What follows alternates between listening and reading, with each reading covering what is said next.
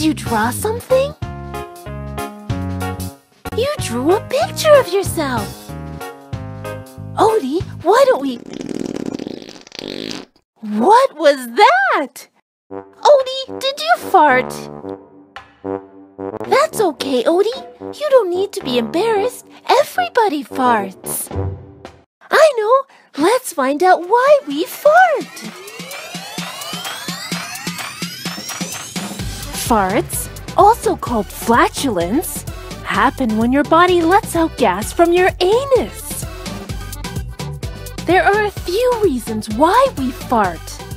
When we breathe and eat food, we also swallow some air.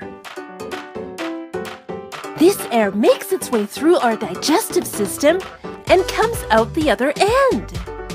There are also millions of bacteria living in our intestines that help us digest our food. In the process of converting our food into nutrients, the bacteria produces smelly gases. The different foods we eat affects each person differently. But one of the key ingredients that makes us fart is sugar. Sometimes farts are very loud.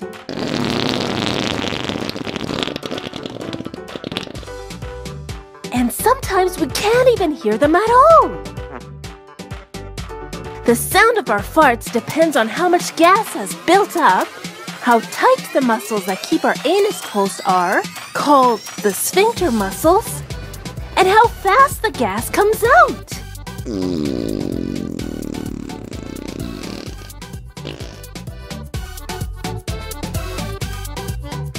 Are you adding something to your drawing?